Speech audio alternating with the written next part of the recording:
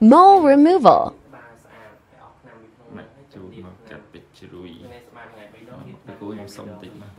មើលកាត់ជួយឲ្យសង្ហាមកគេនេះពេញចិត្តអត់ពេញ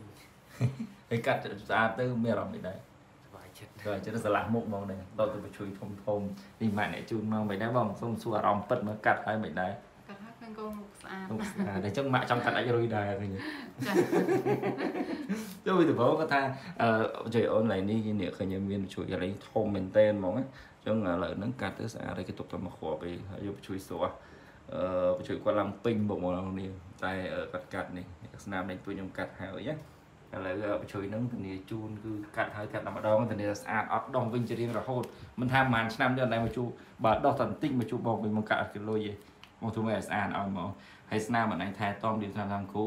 ពីទឹកក្រោយជាស្អាតគាត់ថាវានៅសល់ស្នាមយើងលាបថ្នាំស្នាមទៅមួយខែទៅ3ខែគឺស្អាតហើយយើងនៅក្មេងដែរចឹងណាព្រោះអីថាបងអត់សូវស្នាមនេះអរគុណសុំ TikTok មួយ